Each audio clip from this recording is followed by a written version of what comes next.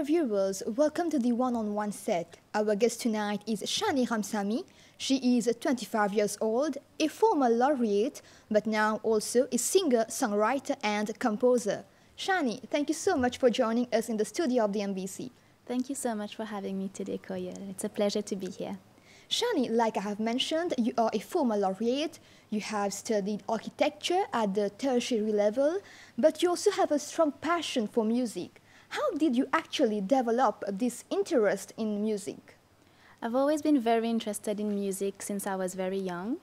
When I was maybe two or three, I was already singing.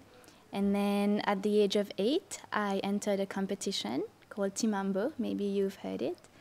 And that's when I sang for the first time in front of a big audience. And that's when I felt the, the energy, the love of being on stage and performing. So I'd say this is when it really started for me. So music was initially your hobby, we can say. Yes. And you have also learned the piano during your childhood. As a child, what drew you to the art of music and to practice musical instruments? So after Timambo, that's when I decided I want to get more into music. And my parents kind of encouraged me to pursue um, classical piano. So I went to the music conservatory for four years, I think. I did classical piano there. But unfortunately, I wanted to sing. But with classical music, you're just playing. And it was long hours. So eventually, I switched to guitar because then I could play and sing at the same time, and it was much easier. Was it actually difficult to practice those different musical instruments? For piano, I'd say yes, because I was doing classical piano and I had to learn these very complicated pieces. So when I switched to guitar, then it was more to accompany myself while singing, and I preferred that. It was easier. Shanny, music is a language of emotion, we can say. It represents different types of feeling. As an artist, what does music symbolize to you? Well, as an artist, music is kind of everything to me because I grew up with it. When I'm sad, that's where I go. When I'm happy, that's also where I go. And if I really have something to say but I can't say it, then I write a song about it. So we can say that where words fail, music speaks. Exactly. Shanny, was it actually easy for you to strike a balance between your studies and love for music? Because to be a laureate, it actually requires lots of sacrifice, lots of hard work, Share with us your journey a bit. So, like I said, I was taking lessons until the age of 15, maybe, because then the workload at school became so much bigger. So I had to, I had to make a choice. I couldn't give that much time to music anymore. So I stopped the lessons, and I was just doing my covers on YouTube, on my YouTube channel and I would use the reward system, which means I would work for, let's say, one hour and then take a 15 minute music break. And that would be my way to release all the stress and have a happy moment.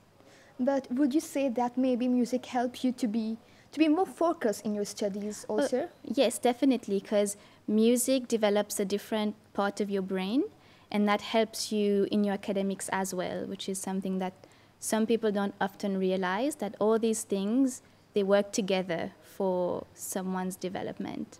Yes, I think it's it also contributes to the personality of a person. Exactly. And music actually like really lightens one's mood and reduces stress as well. Yes.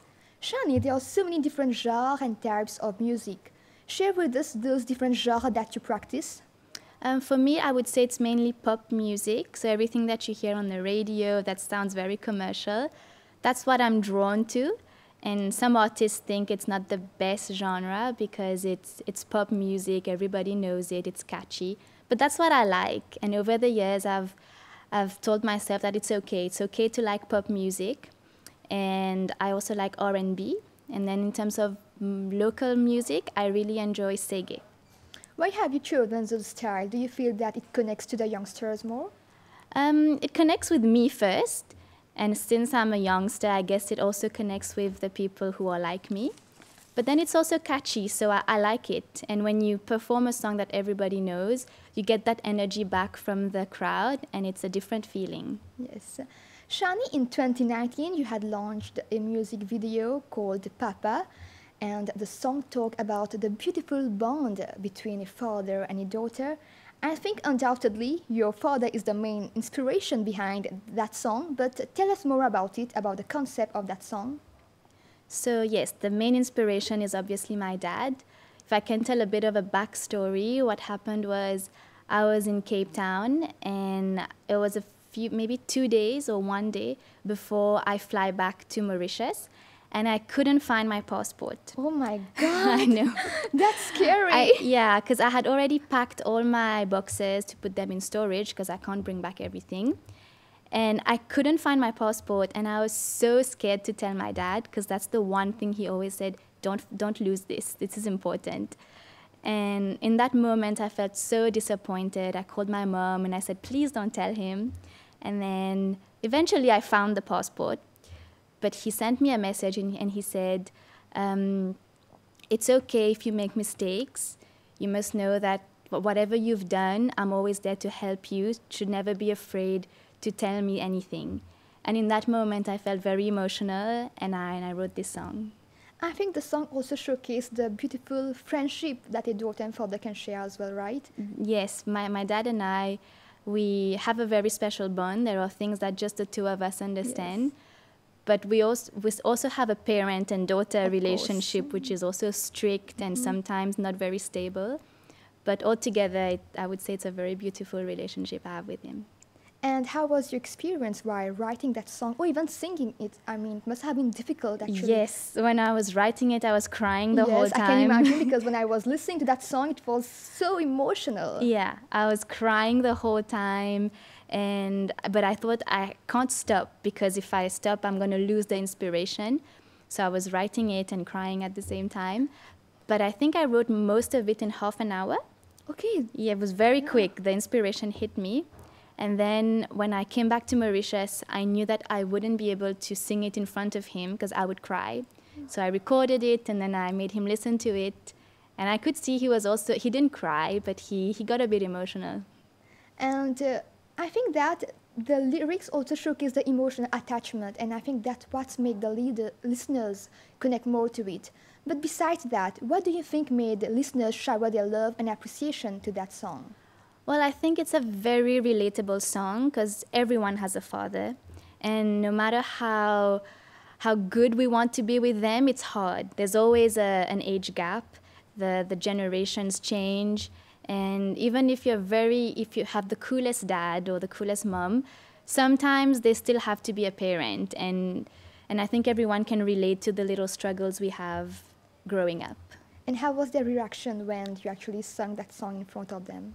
Um, so in, for my family, my siblings related because they sing it from my perspective. I think my mom got a little bit jealous because she didn't get to sing for mama exactly. Maybe the next song. Um, and then just the general public, they thought it was very relatable. They would send me messages saying they were very touched by the song and they could feel the lyrics and, and they were thanking me for, for having written that song. And now, Shanny, being a singer, songwriter, or even composer is not so easy. What is your creative process while writing a song or even composing a piece of music? So it's different all the time. But I'd say most of the time it's when I'm feeling a very strong emotion. It can be a happy one or a sad one, frustrating one. And it's that emotion that um, sparks the creative juices. So then I will either sit down with my piano or my guitar and I will try to express what I'm feeling. And sometimes it's the melody that comes first, and sometimes it's the lyrics. The best part is when both of them come together. You get the lyrics and the melody and and then I just develop it further. But do you actually come up with a theme first, or is it like going with the flow mostly? Mostly going with the flow because it's not my full time job. If it was my full time job, then maybe every day I would wake up and say, okay, today you're writing a song about friendship. Tomorrow you're writing a song about freedom. But because I don't have that time, um, it's mainly whenever I feel something or I'm inspired then I write about it. It's not planned. I was actually coming to that.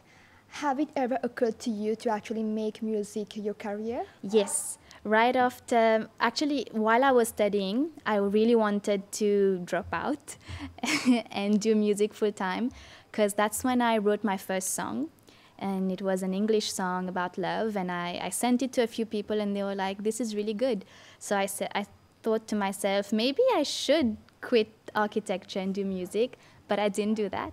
I continued, and then upon coming back to Mauritius, I thought, okay, let's try to do music full time. But as you know, with COVID, it was Yes, not easy. So Yes. And now, Shanny, what do you like to do actually outside of music that contributes to your musicality? Any hobby you turn to that actually help you to be more creative? Um, I've always been a very creative person, so I've always enjoyed everything from um, DIY projects, um, painting, card making, bracelet making, um, video editing. Everything that's creative, I like to touch. And I think that all of that contribute to my musicality somehow. Since you uh, you've studied architecture, I assume that you have good drawing skills, right? Yes, I did do drawing up until A level at um, at school, and even in uni, you were required to draw. In the when you sign up, they tell you no, drawing is just a small aspect, but they lie. They lie. you need to be a good drawer, and you need to draw quickly as well. But do you feel that maybe drawing as well helps you to be creative and helps you to create music at times? Like it's a way to express yourself. Yes, because um, drawing is a creative outlet. So sometimes while I'm writing songs, I'm also picturing the music video and I'm making little sketches on my on my notebook or something. So it all works together. Shanny, the relationship between music and other forms of art, for instance, video, has become increasingly important. How do you see this relationship yourself, and in how far do you feel does music relate to other senses other than hearing alone? Well, like you said, music videos are becoming increasingly important, and over the years, the skills of videographers have um, improved, and special effects and different settings.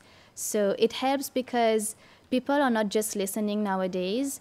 It, you need more than that to capture someone's attention. So having a really nice music video can help bring your, your music to another level. It connects in a better way because what we see, we believe sometimes, and I think that it really helps to connect more. It's really about storytelling. So sometimes you're telling a story in your song, but when you add the image to it, just like for my Papa video, then it becomes stronger because it's not just appealing to your ears, but also to your eyes and eventually your heart, your, your brain. So, yes, merging the two really helps. And you have actually done a music video which is called Nuzenis. It is a music video that mainly points out the different talents and artistic skills that youngsters possess. What was the main inspiration behind that song? So I was just looking around at my friends, at everyone I know, especially now on, on social media, everybody's sharing their projects, what they're doing. And I was thinking to myself, these youngter, youngsters really have talent, and everybody is pushing really hard and is trying from scratch without having a support. And I was inspired by them actually, and I thought it would be nice to, to write a song that shows that aspect of the youth because sometimes we think oh the youth is immature they don't have experience what do they know but actually they're doing really well and i course. wanted to put put it out there n'arrive l'herbe où en sens ce vie était, ce vie. L'avenir dans ce clamé, pas capable laisse l'y tomber, n'en y est pas manqué, pour ce t'arriver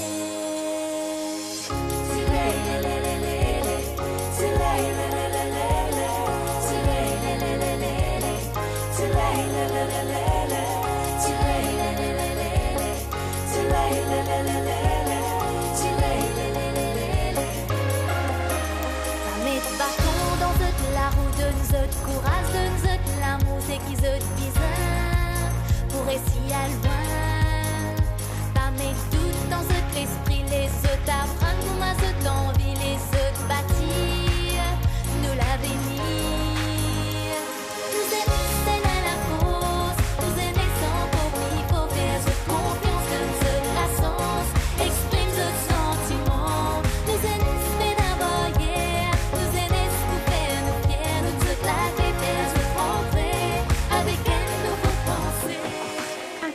Nowadays are always trying to be the better version of themselves. Mm-hmm. It's always an ever evolving process, I would say. Yeah, I think youngsters don't think too much, which is a good thing because I think the the older you get, the more conscious you are of all the reasons why you can fail at something. But youngsters, they just go for it. They're like, I'm young, I can do it. If it fails, I'll try something else. Exactly. Yeah. And I see that most youngsters now, they are not afraid to take risk. It's all about following what they want to do, their passion, and being successful in that as well. Yes, definitely. They they see it as an opportunity.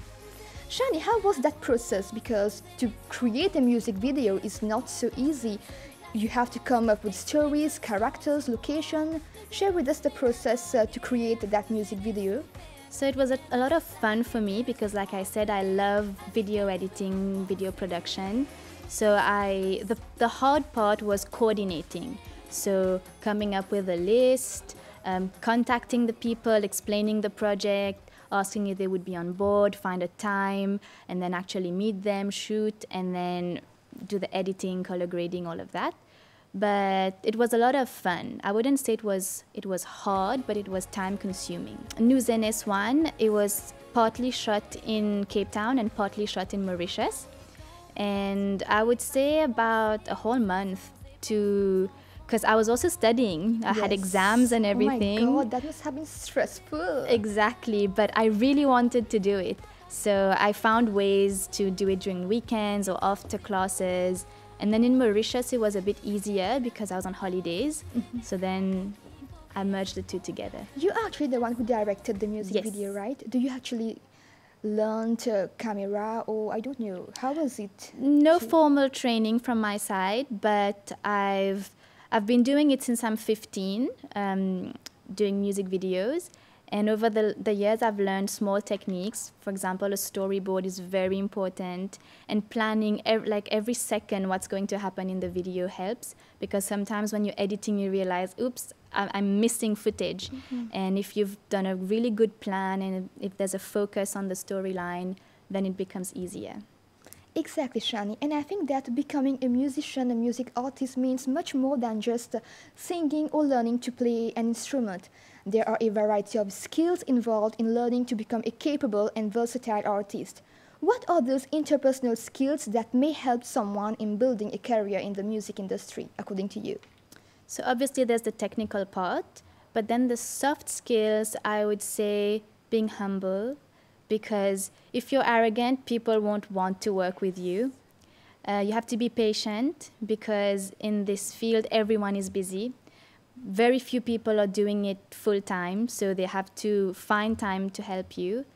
And I would say being kind because if you're in the music industry, you're dealing with other songwriters, other musicians, producers, and everyone is creative. So what they have done is very important to them. They've put their heart and soul in it. So the way you give your opinion, the way you say if you like or don't like something is very important because you don't want to ruin your relationship with these other creative people. Yes. And Shanny, you have actually also written two English songs. Yes, And what actually drew you to write English songs now? I mean, you were writing song in Creole before, but now you've turned to English, and the themes as well are different. It's about heartbreak, love. Tell us about it. So actually, I started writing in English first. My first song ever was in English. It was a heartbreak song. And then later on, I did in Creole. So I've always started with English. And I released two English songs on my YouTube channel. But I write English songs all the time. I've written maybe 20 English songs, but it's still kept to myself for now. Um, I think it's because of what I listen to. I listen to English songs all the time, and it's mainly about love and heartbreak. So it becomes natural for me to also express myself in a similar way. Has it ever occurred to you that you have a creative block while you're writing? Oh, yes, all the time, all the time. I don't think there's ever been a song that I wrote without having a block. Even the Papa song, I, I wrote most of it in half an hour. And then when I was in studio, I was like, okay, I don't have a bridge for this song. I need to come up with it now. But yeah, I have writer's block all the time. But it's about pushing and forcing yourself sometimes to get it through. And we've been in lockdown recently this year. Have you actually tried to, to write new songs or even sing a new one? I've tried, but I'm the kind of person who's more inspired when I'm busy, when I'm running from here Pressure to makes you productive. Exactly. I've always worked really well under pressure. And during lockdown, I find that I become super lazy. I don't have the creativity to write There's no songs. routine, ex- exactly. I, f- I feel like just sleeping or doing silly things. It was a hard time, actually. yeah, it was too long as well. Shanny, I believe your road to success was not only smooth, you have had ups and downs. What other difficulties that you had encountered, and how did you overcome those challenges? So for music, it was really hard when when I decided to produce music because before I was just doing covers and the struggles were simple. I was just getting some hate comments here and there and I didn't care. I've been doing it since so long that after a while I just see them and I, I smile. I say, okay, whatever. But then when I started producing my own songs, firstly, I started doubting myself a lot because now I'm putting out my own words, my own melodies, and I don't know how people will feel. So that was a, a, a bit strange at first. And then finding a producer, because I no one in my family has done that before. Mm-hmm. My friends don't do this either. So I had to knock on many doors before I finally found people to work with. Sometimes I've worked with people I wasn't too happy, so I had to find other ways. But I'd say producing was a very hard part. How do you deal with criticism? Because it's something that not all youngsters can, can handle. Um, I would say that I don't think about it too much. I've seen so many hate comments from the time I started when I was only 15 up to now I'm 25, so that's 10 years. So after 10 years of seeing the same similar comments, you you kind of become immune to it, I'd say. Especially, I make the distinction between a comment that's just mean to bring you down and a comment that's Constructive. constructive. So if it's constructive, I'll, I'll pay attention, I'll, I'll reflect on it, but I never answer. I never Yes. answer anyone. It's always about focusing on yourself Exactly. and on your skills. Shanny, what are your ambitions now as a songwriter, singer, or even a composer? So it has been my dream for the last two years to release my own album. I am working on a few songs at the moment, but I haven't found my my sound because every artist sounds different and unique, and I'm still looking for that uniqueness. And the dream is to ultimately have my own album. And any advice that you would like to give to our youngsters to encourage them to follow their passion and give wings to their dreams, like you have done? Yes, of course. I'd say to youngsters out there that if they're passionate about something, to follow it, whatever it is. It can be um, cooking, it can be fashion, whatever it is. They have to do it because at the end of the day, they only have one life, and you don't want to look back and think, what if? You'd rather say, oops, than what if. Exactly. Yeah. Shanny, before we let you go, please sing a few lines for us. Okay, I'll sing uh, Nous Aînés because I think anyone listening to that song can relate and can feel empowered. Yes. Nous aînés, na la fosse. Nous aînés, sans compli, faut faire zot confiance, donne zot la sens, exprime zot sentiment. Nous aînés, c'est na barrière. Nous aînés, pour faire nous fiers, donne zot la clé, faire zot rentrer avec un nouveau pensée. Thank you so much, Shanny. It was so beautiful, and I'm sure most youngsters have now been motivated to even do better now in their life. Thank you so much, Koyal, for having me and for this wonderful interview. It was a pleasure, Shanny. Dear viewers, we have now come to the end of this episode. Thank you so much for your time. We hope to catch you next week at the same time, same channel. Have a great evening.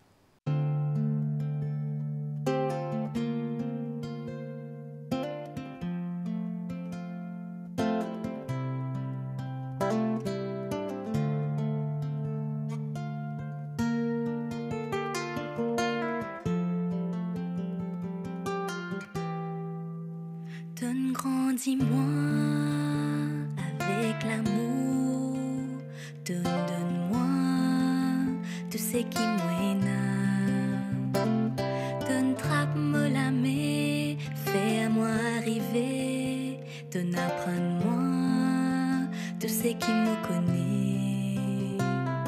Souvent nous partis d'accord, pas connu qui s'en a en nos générations.